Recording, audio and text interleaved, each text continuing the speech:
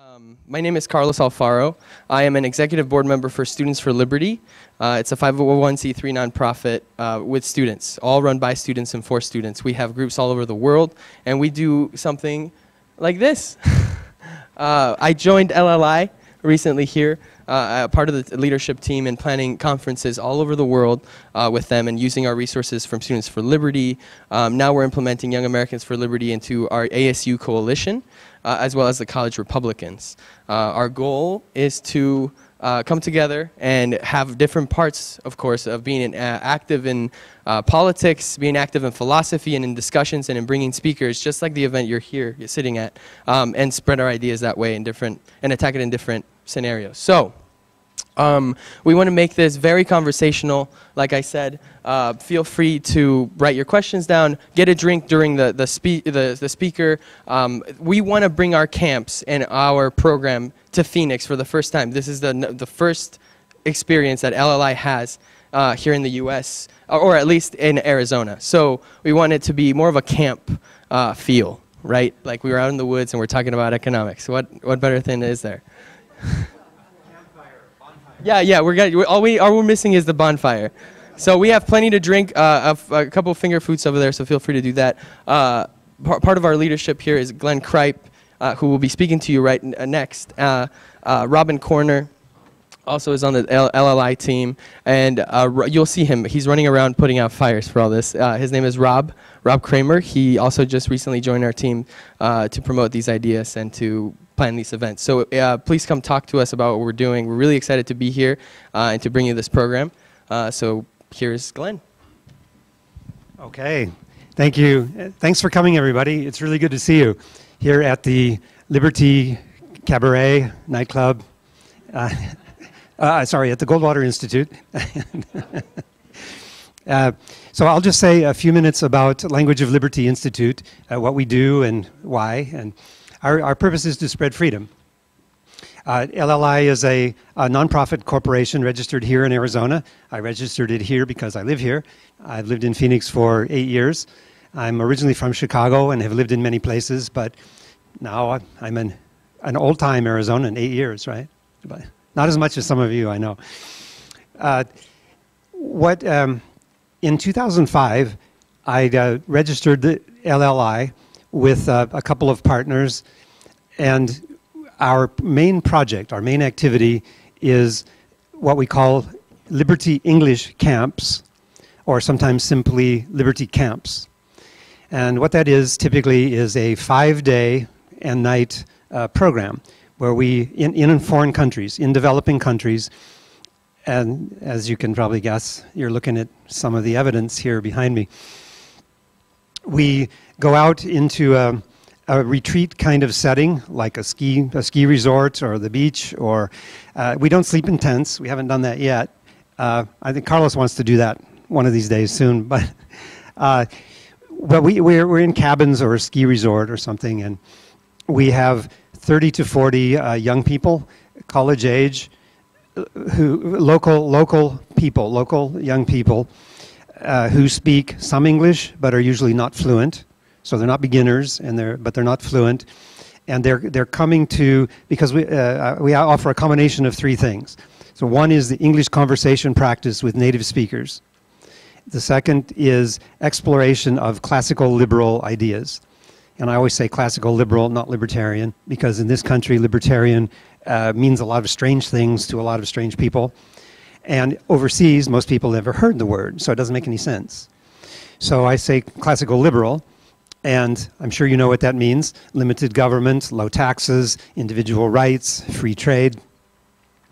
We, so we practice English conversation, but we don't just talk about the weather, we talk about important things. We talk about ideas, and we talk about how to apply them in real life, such as starting a business.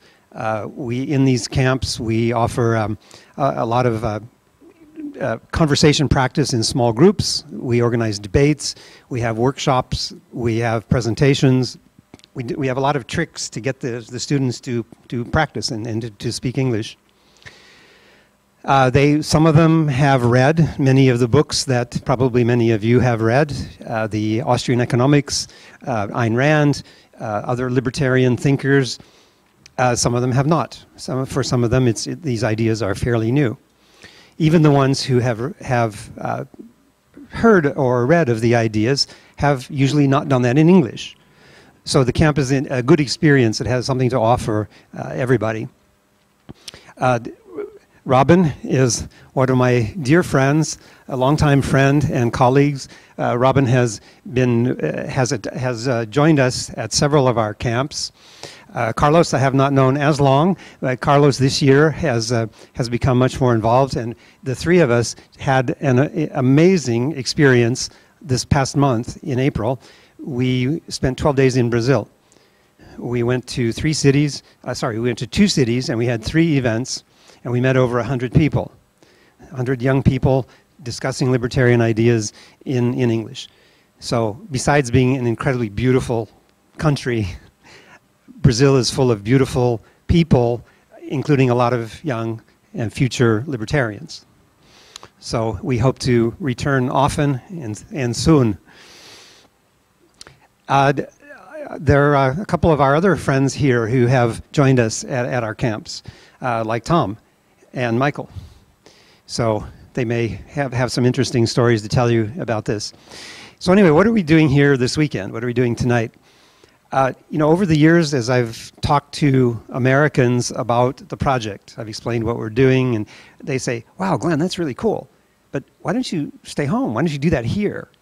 You know, we, we need this kind of thing here, in America." And I'm going, "Well, yeah, okay. Well, you don't need English practice in America. You, you uh, and there are lots of libertarian conferences, so you know, I don't know. But our goal, all of our goal, is to spread freedom. So any opportunity we have, anywhere, anytime, any place, for five days or two days or two hours with wine and campfires or without, we try to find ways to spread freedom. So this is our first time uh, here in Phoenix, here in Arizona, back home. our, our program is here. But uh, you don't have to stay five days, and you don't have to sleep in a tent. Uh, I hope that, um, that many of you or all of you will, will come tomorrow for at least part of the day because we have a lot of exciting speakers and topics. Uh, two of our speakers you will hear uh, tonight. They'll give you kind of an introduction, and then tomorrow they will uh, build more on, on their remarks tonight. And that's Robin and Joe Cobb. So I hope you will enjoy the program, and I hope you will enjoy the wine and the beer and the coffee. Uh, again, thank you for coming.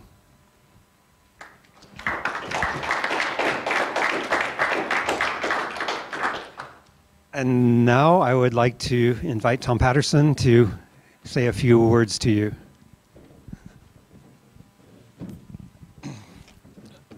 Thanks, Glenn. Um, I am Tom Patterson, the um, the chairman of the Goldwater Institute. On behalf of the Goldwater Institute, I want to um, welcome you all here. Uh, the Goldwater Institute is uh, very happy to be able to provide a, a venue uh, for our friends at the Language of Liberty Institute and Students for Liberty to be able to pre present a program like this. And uh, I think it's going to be something that will be of great profit to all of us.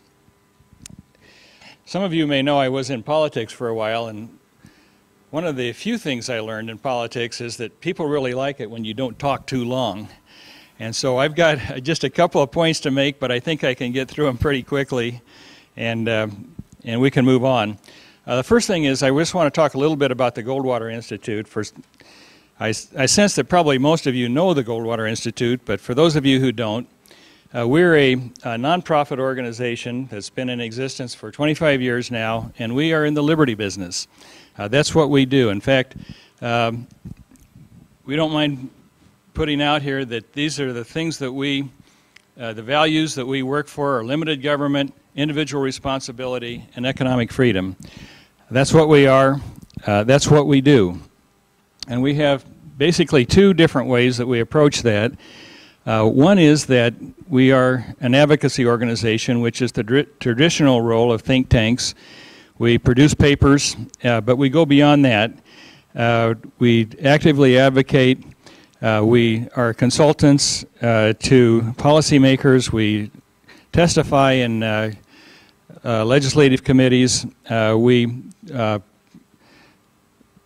uh, conduct uh, seminars and public events, uh, book events. Uh, we produce public uh, uh, sector announcements. We really do everything we can think of to advocate for the principles of, of liberty uh, and the specific policies in Arizona that advance those. Uh, the, the second thing we do, and this is much newer for us, just in the last five or six years, uh, we've developed an ability to litigate on behalf of liberty. And again, I know many of you realize this, but we have a very, very good team of lawyers who litigate on behalf of keeping government within its constitutional bounds. And it's involves a, a many different subject areas, including such things as school choice, election law, uh, health care, uh, economic regulation. We've uh, litigated in front of the Supreme Court, and we've litigated a lot, but we've come to the point where we don't even have to litigate that much to affect what happens in our state. And what, what we found is that uh, governmental entities often today will kind of figure out the chances that if they're going to risk something that is questionably constitutional, will the Goldwater Institute come after us? In fact, they even call us and, and say, you know, we're thinking of doing uh, this and that, and uh, what do you guys think about that? And, um, you know, of course, the bad part is we don't really get all that much credit because we don't win any cases when they do that. but that's okay. Uh, seriously, the, the point is to advance liberty, to make government officials aware that we're here, and if that they step out of their bounds, they're going to get it. And if we try to write the papers and convince them that we're right, but if they don't listen to us, uh, then we, we sic the bad boys on them, and, and that's the way it is.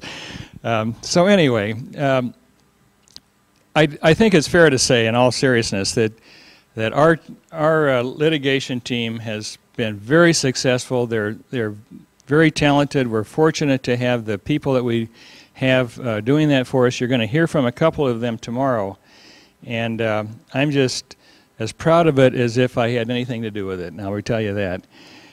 I, I just want to say a couple of quick words about the nature of liberty, and I don't want to steal a march on Robin or anybody else who's going to talk about this, but I want to tell you just a little bit about my own uh, personal history. As a young man, which was a while ago, uh, I would think I would have told you that I loved liberty and I loved being an American, but it was not really something that commanded a lot of my energy or interest. It was not something I spent a lot of time on. I think I would have told you that I believed that Americans had liberty because it had been given to us by our forefathers.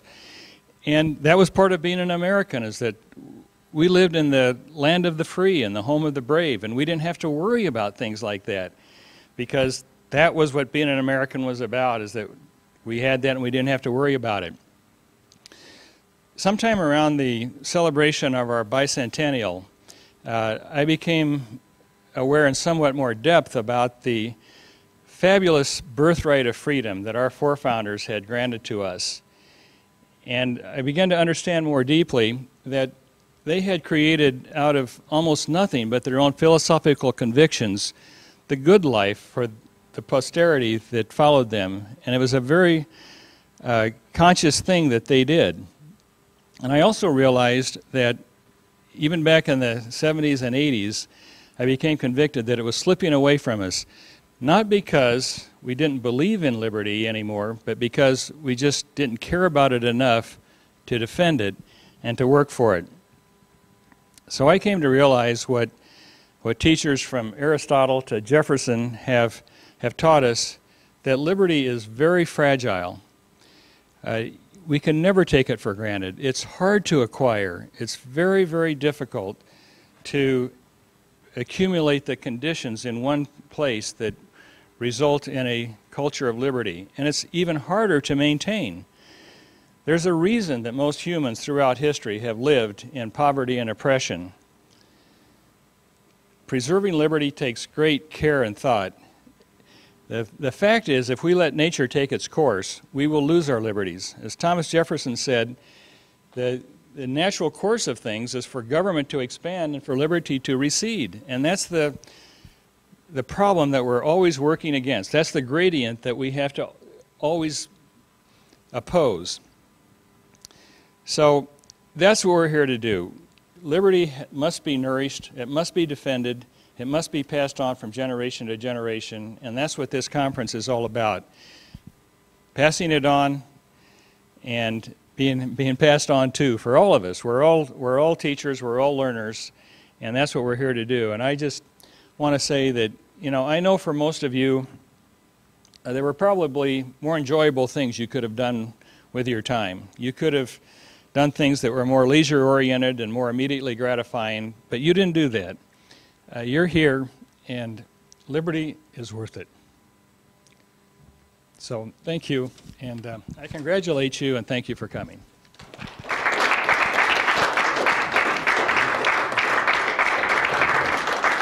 Thank you, Tom.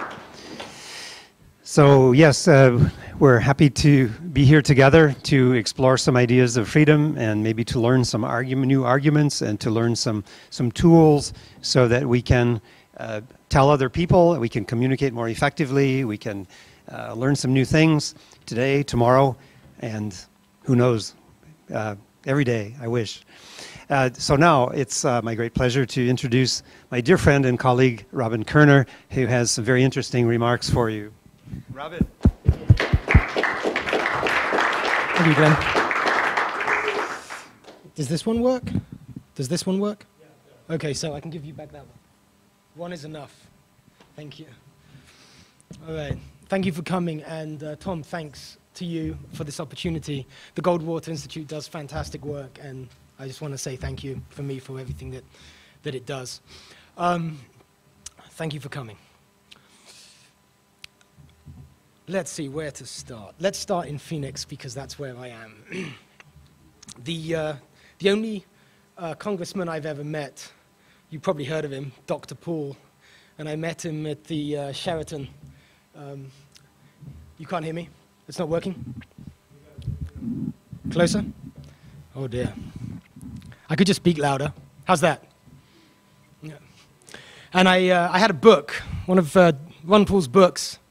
Uh, I asked him to sign as he was exiting a conference. And, uh, and as he signed it, I said, uh, Thank you, Dr. Paul. You're one of the reasons I'm here. And he heard my accent. And uh, he said, Well, don't they need you in England then? And I said, Actually, I think it's too late. So, uh, which speaks to why I'm here as a Brit who cares about liberty, um, why I am fighting for it in the United States. Although, if we have time at the end of this talk, um, ask me why I might be wrong about what I said to Dr. Paul, because uh, yesterday some very exciting things happened in Britain that, uh, and I would love to be wrong. Can you hear me? Yeah? Okay. Um, yeah. I hope I am wrong about that. Americans, I have discovered, have this quaint notion that they had a revolution against the British. And uh, every nation has its founding myth. Um, all nations are guilty of that. I, am not so sure it's true.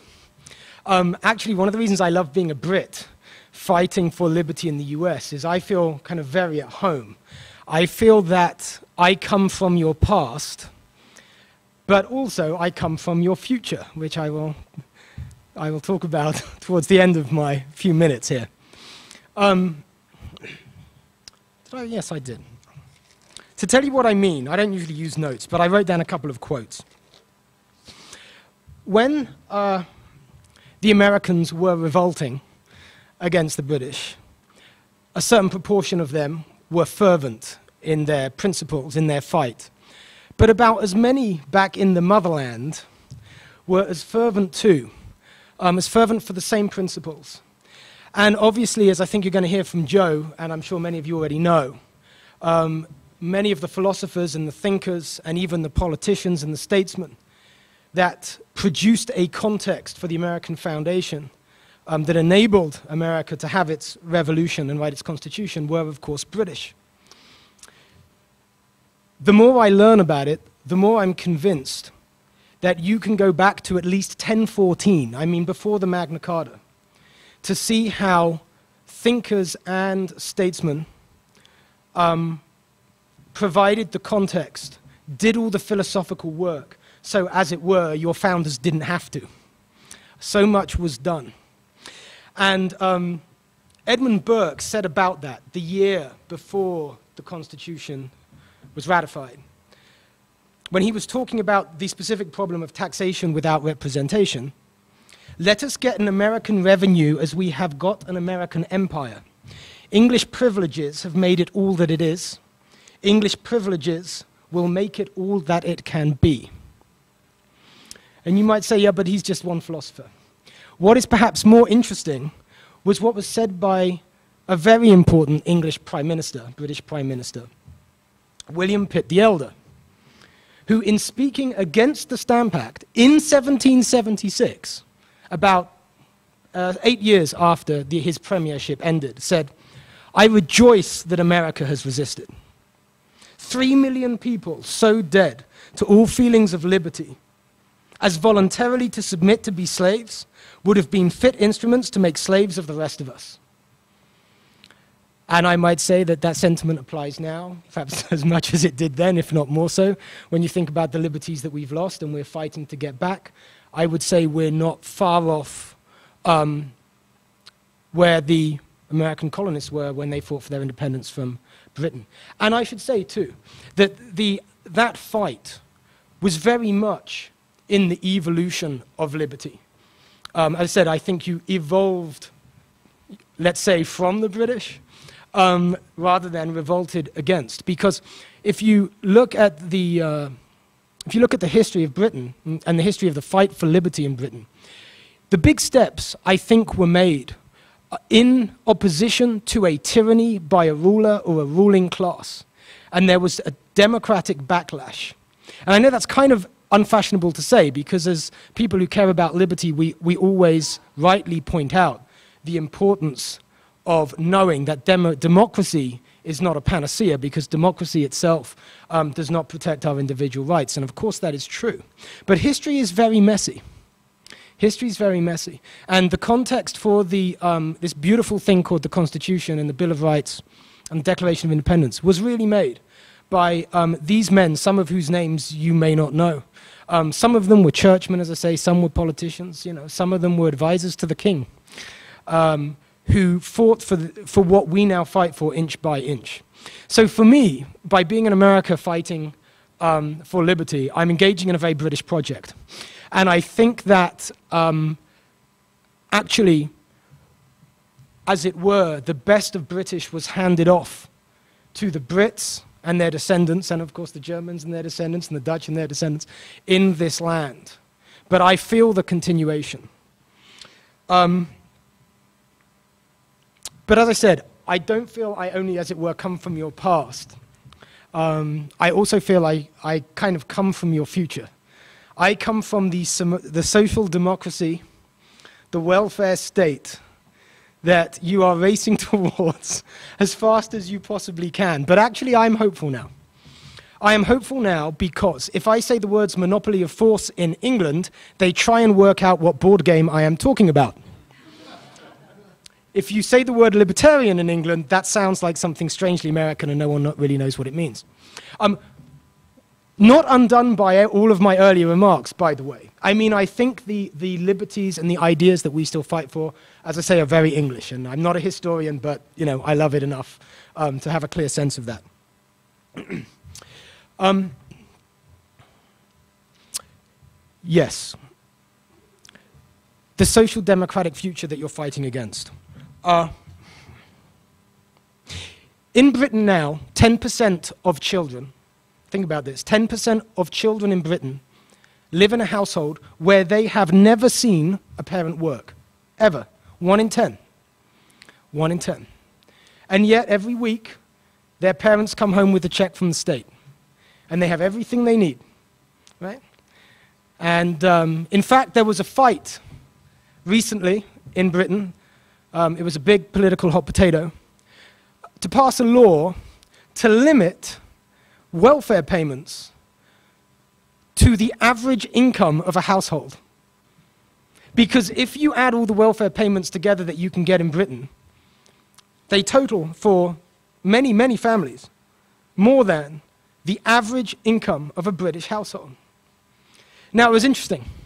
Um, Prime Minister Cameron, at his party conference the year before he became Prime Minister, and he only just became Prime Minister, uh, made a, a, great speech at the conference, and he pointed out that Mrs. Thatcher had won uh, her election, her first election, fighting against the immorality a, of a 97% tax rate on the richest Britons. Cameron pointed out that our welfare state imposes a marginal tax rate by virtue of withdrawal of benefits of 97% on those who would work who are currently on welfare. So, as he said, if Thatcher can win on not taxing the richest among us at 97%, um, surely, he said, the Conservatives of Britain could win on not taxing the poorest among us at 97%. This is not, of course, what anybody intended when they set up this welfare state. And depending on when you run it back to, um, you could say that the, wel uh, the, welfare state in its current form basically uh, started with the end of the Second World War, but the birth of the welfare state, 1920s, 1923 perhaps, depending on where you want to measure it from. In Britain, although we, I think we gave you the Constitution, or we gave us, I'm going to say us now because I'm going to be American in 18 months and I will proudly take the oath. Um, thank you, yeah. Uh, although, although, as I say, I, I think it's a very British project, we don't have this sublime little book, that Constitution, you know, that's that, that thick. Um, there's America in the fabric of this nation, not only because of the content of that document, because of the the wonderful way it was written, the way it was expressed, content and presentation. There's something in the blood here, I feel. There's something in the fabric of this nation that if you, if you walk out of these doors to people who aren't really interested in politics, um, there is a sense of, uh, you know what, let me use a word that the left like. There's a sense of what social justice is, of what economic justice is. And it doesn't mean what the, what the progressives have made it mean over the, um, over the last uh, two, three generations. I should say, actually, that reminds me, I read an article today about the um, huge election uh, success of the most libertarian party in the United Kingdom that didn't exist 20 years ago, United Kingdom Independence Party, um, that yesterday one was polling 25% from zero in 20 years, standing on very basic things like, you know, free markets, um, uh, pulling out of the tyranny that is the European Union, um, and so on and so forth, from zero to 25% uh, in, in, in 20 years. This is why I have hope for Britain, and I think my comment to Ron Paul may have been wrong, by the way. But I read an article about that, um, that win, and the author pointed out that Britons have now become sick of, the, of choosing social liberalism over social justice, which I thought was really interesting. Because over here, social justice is a lefty thing, right? Like economic justice is a lefty thing. But actually, if you just take the words at their meaning, that's right. One thing everybody has is a sense of fair play. It, take, it took three generations for the British, well, no, it didn't. Let's go back to 1923. It took 90 years. What's that? That's four or five generations, depending on how you count it, um, of, of welfare state to realize that it had gone too far, to realize that you have a dangerous situation when 10% of all children do not see the relationship between doing something and getting something. Um, that there might be a problem in having government buy cars for people with issues with mobility, which we now do in the United Kingdom. Um, there is now, that I think the pendulum has gone as far as it can go. It took that long because there was no fight back. And now you would even say, if you speak to people in the bar, you know, you know or in the pub, or in people's homes, um, about these issues, they, they wouldn't be able to convey some of the ideas with the clarity that we convey them because we have uh, this amazing history in the United States, the, the Bill of Rights, and, and all of these principles that the Americans, thank God, ran with, you know, and, uh, from 1776. Um, but they're getting it because a, a, fair play is being, is being offended. Um, So how did we get there? Uh, we got there because what tends to happen is, um, this, of course, I'm sure all of you already know this and sense this. Uh, there's a big gap between good, good intentions and good outcomes. And when I talk to liberals, which is what I usually do, my, my shtick is to discuss the ideas of liberty with those who identify on the left.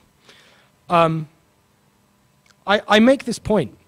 I think in the 40s, the 50s, the 60s, the 70s, it's perfectly reasonable to think if you have this big powerful thing called government and you have this big mechanism called law and you want good outcomes, however you define them, social, economic justice, equality, whatever it is that you think is, is good, health, um, that you just legislate them. That's not an unreasonable position. It's a very reasonable position. It's the position that most people like me take by default after we get our public education, right? It just seems sensible, common sense, and good. But now we live in different times. Now the data are in. The data are in. So in America, that's really good because there's a substrate, there's a philosophical substrate in the United States, I think, that allow us to say, at this time, at a time when people I will call on the soft left and the soft right know that left, the left-right account, Republican, conservative, uh, Democrat, conservative, liberal account of U.S. politics is, ineff is, is ineffective. It, it, doesn't scratch where it itches, as my old philosophy professor used to say. Um, we can say, well, we understand, we understand that you want a fairer society, whatever that means. We all want social justice. We all want more wealth, not less. We all want more opportunity, not less. Have the programs you've been supporting, have the methods you've been supporting, usually large, centralized, statist methods, which is what we've done in some social democracies all around the world. Have they actually delivered even on your liberal principles? And you can point out, as I say, I come from your future, in the, Uni in the United Kingdom, 1976, the poorest half of Britons uh, controlled, owned 12% of the British economy. That number is now 1%. In the United States, the bottom 40% of Americans own 0.3%, 0.3% of the American economy. The richest 1% own more than 100 times that. If we care about liberty, it is not difficult for us to sit down with our liberal friends and say, enough is enough. Um, we have something in common. We think that if this state of affairs has been brought about through lack of justice, through unfair mechanisms, that we, we don't want that. We want to address that. Could it be that the wonderfully um, optimistic uh, programs that you have supported, and you can see the outcome of this in the social democracies of Europe, which is why I'm saying, you know, this is look to the, look to the future uh, over there, if you don't get off this track. Could it be that, let's stick with the welfare state, that this system, this big statist delivery of good, has stabilized a system in which the state enables wealth to be unfairly concentrated by a certain class exploiting a certain monetary system with certain privileges. Could it be, and here's a crucial thing, that we have been treating the symptoms and not the cause? Because if we say to many Americans who aren't maybe as exercised as philosophically as we are about some of the things that we care about, um, that we have this common ground, that there are, there are problems that we have in our country that have been created, and the things that we've done to undo them have, been, have not worked because they have not understood the causes. There, there is no redistribution. There is, not, you, there is no redistribution big enough to undo the natural consequences of uh, the unfairness that's built into our monetary system, for example. Right? What we need to do as people who love liberty is find the common ground with those all over the political spectrum who already they have a sense, they know that the Democrat story and the Republican story are actually more or less the same story. They know that most of it is 90% of agreement because how is it that these two parties who've had the, the levers, only they have had the levers for decades and decades, generations and generations, have put us where we are? that's not, that's not a hard case to make. They can see that. So, what are the tacit assumptions? What are the things that are unstated when the conservative sits down with the liberal on CNN and bashes something out? Right? It's the things that are, that are unseen, that are below the surface. Um, the unintended consequences. Uh, the thing that you get when you throw medicine at the symptoms without um, understanding, uh, understanding the causes. And I think that um, we live at a, we live at a ripe time. I think if we can in, affirm people's intentions, if we can affirm people's in, intentions, then we are not saying to those that we need to persuade, you're wrong. Because you can't sell anything that way. No salesman sells anything by saying, you're wrong. You say you're right. You find out what the need is. You find out what the point of contact is. And there are so many now. Um, and actually, you know, in one of my articles recently, I ventured that, let me, let me talk about, uh, let me now get to my hope for Britain. What happened yesterday uh, was that this party took 25% of the vote, as I said, the United Kingdom Independence Party. And to, to, Americans in this room who understand the philosophy of liberty, you would go, ah, they're libertarian light. There, they don't. But they're, they're as far as it gets towards liberty in the uh, UK uh, political system. Oh, I forgot my thread. Somebody tell me, how where was I going? What did I just say? No, it's not, um, oh yeah, thank you, right, I remember now. Thank you. How did they do that? How is it that the liberty movement, well, how, let's, talk, let's compare and contrast UKIP with the Libertarian Party of, and I know I'm, I'm guessing most people in this room are not members of the Libertarian Party, but with the, with the tailwinds that Liberty had with the Ron um, candidacy, with the amazing energy, um, the fact that I think we've already won the 20-something. So, you know, I, am hopeful. I'm hopeful here. It's why I'm in, I'm in America, because we're going to succeed here, right? And I want to be where we can win. Um, but um, UKIP did it by not getting caught up in the orthodoxy of liberty. They realized that the most important, the most important issue is the issue that everybody who isn't them gets. It's the issue that the majority of the electorate who may not be able to spell libertarian, um, what do they care about that the establishment do not speak to them about? In the UK, that issue is Europe. All the British know that Europe is a soft tyranny which is turning hard. And the British would vote without doubt in a referendum to withdraw from Europe if, if, they, if that was a vote that would be held this week. Every political, the three main political parties in the UK promised that uh, when they ran for the election, I think last time, and they've all walked back from the promise. Okay? So UKIP comes along, and that's their thing. Now, if you actually care enough to get on UKIP's website, you'll see that they like things like free markets. They don't like things like political correctness. They like things like civil rights and leaving people alone. They like the rule of law. But they don't try and convert people to this whole new philosophy that they don't understand, soaked as they are in social democracy that has been on the rise since the moment Maggie Thatcher left, left office. Right? They're, they're, they've got to sell something. Politics, the politics of identity. All politics, the politics of identity. Someone votes for, to, for, for UKIP because they, they agree with them on the European issue, and there's nowhere else they can go to vote for a party that understands this little bit of liberty that they care about. And it may be that the British that have the sense that there's something wrong with this European project, they don't even use the word liberty in talking about it. Again, it just offends their sense of fair play or their sense of decency, or they just know there's something wrong about this imposition of another overarching level of political power. There's a sense that it's a step backwards. But of course, once you realize that you vote, you, have done something you've never done and you've considered a political point of view, a political party that you've perhaps never considered before, never voted before, and the world doesn't end. Right? Everything is okay if you still don't vote Labour or Conservative or Republican or Democrat. And not only, not only is, the, is everything still okay, the next day, the newspapers are full, as they are in England today, of UKIP. This party that still doesn't have, by the way, a seat in Parliament. but it has now, it's polling 25%. And could win, probably will win. It's already second, probably will win the European elections, the British European elections.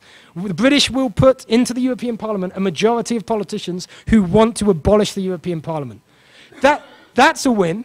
That's a win for liberty. When they come over to UKIP, as I say, it's not because they've learned a whole philosophy that they're not geared to learn about. Well, they can't because, like in the States, they get their news through the mainstream media too, who don't understand that the axis is not left right, it's tyranny liberty. Media everywhere don't get that. But they realize that these, these other people who are voting the same way, who are thinking the same thing, they're people like them. And they'll say, well, all right, tell me what you think. What's this free market thing? It's got to be by osmosis. People who love liberty, thankfully, it's changing. When I first came to the liberty movement, and I'm very new to it, about four years ago, um, all the libertarians I met were like my friend Glenn. They're all uh, male white computer programmers. And um, the, the conferences were full of them. Not anymore, even in four years. Even in four years now, to go to a Students for Liberty conference in DC and, and see it filled with um, women and men right, who don't dress like they're, they're from another planet, right? It's great. We're a cultural change, let alone the politics, we're a cultural change. We're normalizing these ideas. It has, this is why the filibuster was so fantastic. Rand Paul's filibuster for the drones uh, thing. How marvelous. I was in Brussels at a Students for Liberty conference, actually. Um, and we were talking about Rand Paul's filibuster there over the lunch table in Belgium and when I got back to my laptop and, you know, uh, got online, I see the Huffington Post, which is the mainstream media to, for, oh, everybody in my district in Seattle, right? With a picture of Rand Paul and just the headline in red, 13 hours. And the note underneath, also in red, to make sure you'd see it, that only one Democrat supported him. Just like how UKIP are changing the political landscape in the UK by just pushing, taking over the media, by making themselves relevant, by doing what needs to be done, rather than, you know, having arguments between I mean, I don't know if you guys have done this before. You know, the anarchists are here, and the minarchists are here, and the libertarians are there, and then the conservatives are there, and we're all going to prove each other. We're all going to prove that we're right. Well, no one wants to say. Nobody wants to know that they're wrong. That's we've got to be smarter than that. And the reason the reason I'm I'm so positive about what's going on in the States is because I think we are smarter than that. I think there is um, an understanding now in the liberty movement, um, however you define that, um, that the only principles that are worth having are principles that you can turn pragmatically into action, that can be brought to bear on the lives of our countrymen. Um, there is a difference between principles and purism. I definitely believe in principles in politics. In fact, you know, here they are on the wall here. And of course, we have to, uh, we should never lose sight of them, otherwise, what we're doing is in vain. Um, but uh, I like to see the academic arguments calm down a little bit. In Washington uh, state, my home state, um, I was speaking a couple of weekends ago to the Libertarian Party annual uh, conference. And I was thrilled that they have passed a resolution uh, for Washington State Libertarian Party that they can officially support through resources and endorse non-libertarian candidates uh, who support these principles. There is a rolling back of partisanship all over the place. I think even Republicans and Democrats are starting to loosen up those uh, affiliations because, as I say, they're hungry for an account of politics, of how we got to this mess, um, that uh, not the old one, that the more we hear it just takes us further into the mess. And then I spoke to the Republican Liberty Caucus the following weekend, and the guy, the executive director of the Libertarian Party, was there to tell them that the Libertarian Party would now be supporting the Republican Liberty candidates. And in private discussions with um, the vice chair of that Republican group, uh, I understand that there is a willingness for reciprocation um, in those districts where they know in Seattle Republicans cannot win, but perhaps a libertarian can. Um, great things are happening. I am very excited to be part of it. As I say, I come from your future, I think, just as a warning. Don't go down that road. It is not that. It is not that. Let's not get complacent. Tyranny is not being raised here as fast as it is in Europe, although I think the Europeans um, still have the march on it. It's that because of this constitution, because of this Bill of Rights, because of this history, um, there, the fight back has already begun. The fight back has already begun here. And it's marvelous. I, uh, as I say, you know, I've mentioned the Students for Liberty quite a bit. Uh, the 20 somethings we've won, I think we're already there. You know, the world became industrial on the first day of the Industrial Revolution in one town in England. On that day, everything had changed. At that day, we lived in an industrial world. There was some inevitability about the hour of time.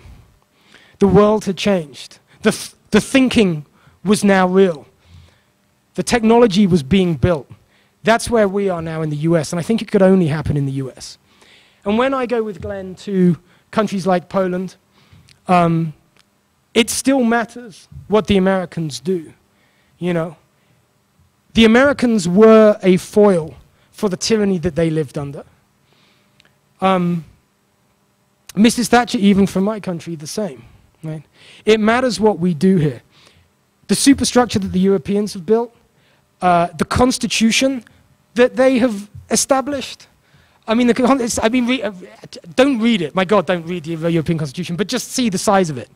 Um, and selected, selected, um, selected sentences will horrify you if you've read your American Constitution. Uh, the superstructure that's being built there, thank God the British have stayed out with the currency and they may actually come all the way out, um, makes it a lot harder to roll back what's already been done. We've got to start in the US. We really have a start in the US. And as someone who still, without his American citizenship, um, comes from the rest of the world, I say that the work we do here, we do for the world. Because the shining city on the hill metaphor might sound a bit um, kitsch. It definitely does to not most non Americans. But if we are not that, there will be none. I think that's where we are now. So um, I'm pleased to be in this fight with you. And uh, thank you, as I say, for coming. And I look forward to speaking with you again tomorrow. Appreciate it.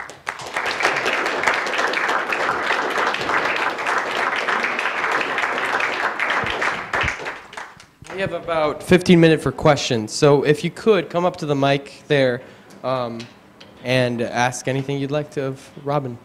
Uh, we have a video, and that's why we want to keep it to the mic. So if you have a question, come on up. Comment is good too. Joy was writing furiously, so I hope this is a, a very difficult question.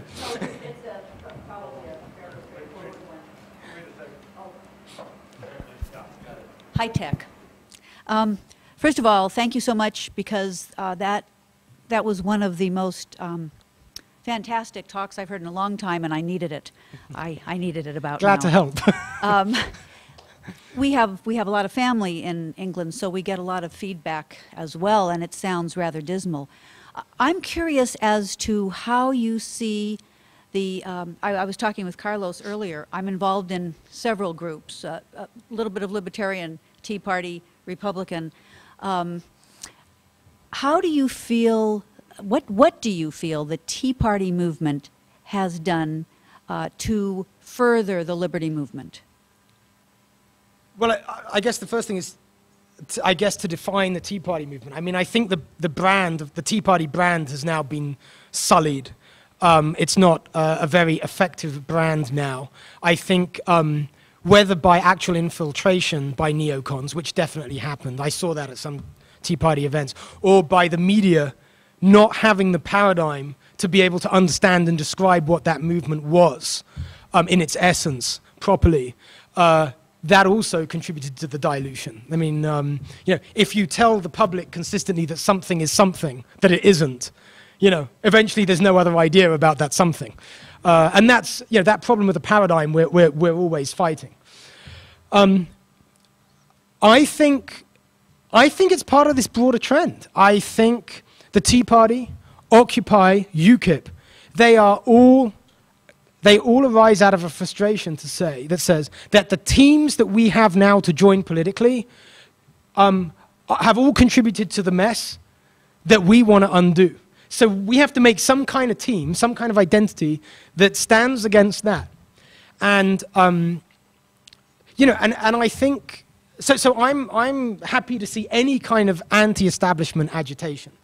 Um, I mean, I think a very good case could be made from an American point of view that, that UKIP doesn't represent a liberty movement uh, in the UK you know, by American standards. Uh, but it, it does in as much as it is a rejection of um, statism in the biggest sense, um, the political class as a controlling class in its biggest sense. Um, it, is a, it is a fidgeting, it is a frustration, it is a let's do anything but this. You know, it's, a, it's a move at least 90 degrees away, and that's the important thing. Um, I think the Tea Party's the same, Occupy's the same, uh, as I say, UKIP's the same. Um, certainly the movement that I've become identified with, which is the Blue Republicans, which is, um, I call it a gateway for the liberty curious left. Uh, I wrote an article that um, was called If You Love Peace, Become a Blue Republican Just for a Year on the Huffington Post. So I know I'm writing for liberals. And I, I did what I have been kind of preaching here tonight. I said, You voted for Obama for all the right reasons. You voted for civil rights, you thought. For peace, you thought. And against crony corporatism, you thought. Now let's do a compare and contrast with Mr. Bush. So I went down the list. And um, I said, So why don't you not give up your liberal principles? Why don't you stick to them like you mean them and become a Republican for the one candidate in the presidential race, as it then was, who actually has any kind of track record behind those principles? uh, and I was pulling off what I call the soft left for Ron Paul. Um, I even wrote kind of articles in a historic context um, that, you know, to point out that it is not unusual for conservative figures to come forward in history and protect liberal values, especially liberal properly understood, right? Um, and again, it's the helping the left, liberals, the soft left, understand where their liberalism comes from. Um, now, who was it we were speaking with yesterday uh, who mentioned the term, um, uh, said he was a classic conservative? Uh, it was when we were having dinner. Was it Jake? And um, ha having, no, it wasn't dinner, was it? It was beer. We were just drinking a lot of beer. Yeah, um, yeah, classic conservative. And um, we kind of joked that a classic conservative, properly understood, is a classical liberal, right? You know, we, we, we can actually, as people in the liberty movement, provide this kind of intellectual service that now people want. You know, two generations ago, you know, all the left knew that their progressive statist programs were going to get them where they needed to go. Well, now they know it, that isn't the case. Um, we, can, we can help them understand their own paradigm, which is always more effective than giving, you know, forcing ours on them. Um, so the Tea Party, to come back to your question, um, is a symptom of the fact that the left-right account of politics that we have is failing. And so things are popping up. Um, and uh, they're all good. You know, it's good that the occupiers are out there, even though they may have views about some things that would be positively Marxist to us. Um, we have so much in common with them. You know, and uh, I, give a, I, give gave a speech at the um, at, uh, Boise State University in Idaho. Uh, Blue Republicans and the end of left versus right.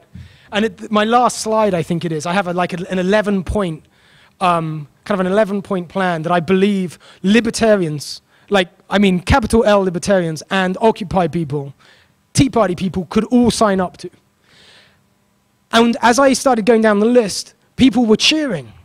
Now, I was, I was in a room with liberal students and with people who identified conservative, libertarian, who came to hear me because I'm a liberty guy. And that room was cheering.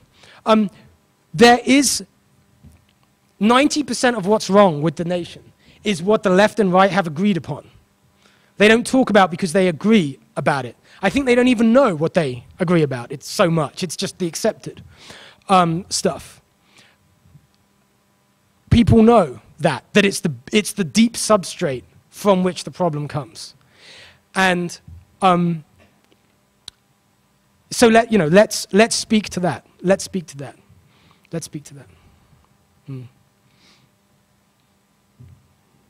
Yeah.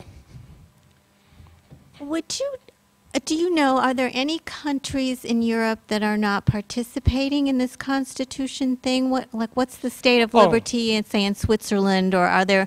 Thank you Can for you talk about that? Yeah, um, Switzerland is arguably the freest country in the world today. Um, arguably. It is not a uh, full member of the EU. Um, the European Constitution, get this, I meant to mention this, so thanks for reminding me, was voted down by every country in which it was put to a referendum. They changed 5% of the text, called it the Lisbon Treaty, and passed it anyway. Right? This is the nature of the tyranny in Europe. Um, the Swiss have a, a proud tradition. Uh, also, by the way, the most armed uh, nation in the world, I think. Um, but uh, to sort of the Second Amendment fans, um, they have a proud tradition of liberty because they haven't been invaded, because there's a, a, a weapon in every house that, the, that both men and women have to learn how to use. Uh, but that's a whole other conversation. Um, always look to the history. The history says, you know, tell you so much. Um, but in the EU, all the nations, including those not in the euro, are subject to the provisions of the Lisbon Treaty, um, the constitution by another name.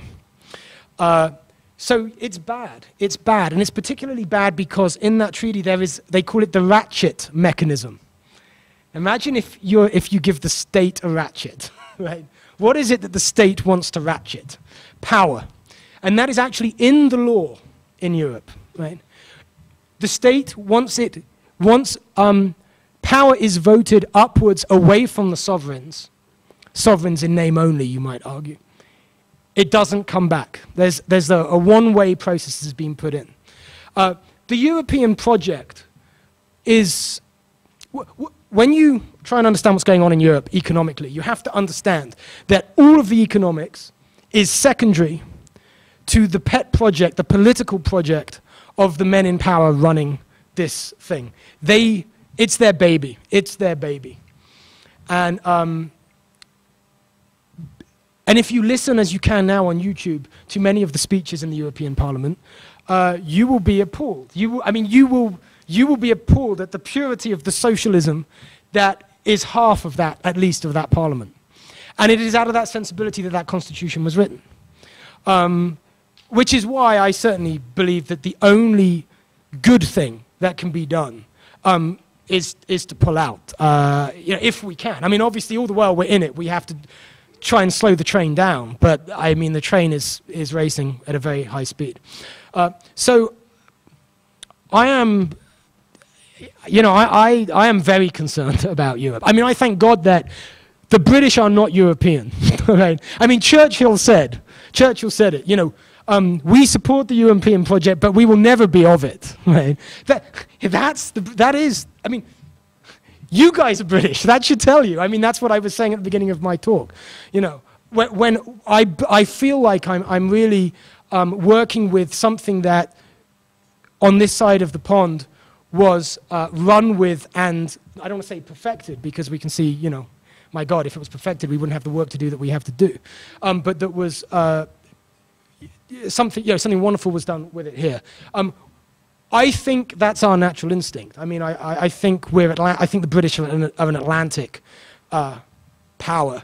Um, in England, I would say a, a- an Atlantic race, but I know Americans will tell me that's not what the word race means, but we use it differently in Britain, uh, in British English. Um, so I'd say we're an Atlantic race. Um, so there's an identity, there's an identity crisis uh, maybe going on in, in Britain. Um, and if we are forced to join uh, what is what is has essentially been a Franco-German, a Franco-German project. Um, I don't think we will ever be at peace as a nation. It still may happen because of the, the, the, the, the power and the forces that are being brought to bear politically. Uh, there has not yet been a government of a national sovereign state that has stood up, has actually opposed um, European law, that has just stood and refused uh, an important European law. Um, they've always, you know, they'll go home and say some right things, and then they go and negotiate it and they sign it anyway, often against the will of the people. I mean, even the French, if you put it to the vote, would probably pull out now. You know, they'd probably pull out of the euro, right? The French, right? Um, so, Yeah, I mean, the very fact that this continues as it does, with this political class uh, against the will of the people, in many respects, speaks sadly to the answer to your question, I think. But no, no Switzerland. No, Switzerland stands apart from the EU. Switzerland has separate agree- has agreements as a sovereign nation with the EU. Um, it is not. Uh, I mean, the Swiss franc is not. You know, is not the euro. Um, yeah, and they. I mean, then they have a, a proud tradition uh, of freedom that that uh, has not been made subject to European law across the board. Just, uh, we're going to take about seven minutes to refuel our drinks and kind of stretch a little bit and talk amongst ourselves, and then we're going to have Joe Cobb speak. Uh, we're also going to have time to uh, uh, talk and discuss with some of the speakers tonight after Joe's speech. So stick around for that, refresh your drinks, and uh, come get some books and talk to some students. Thanks.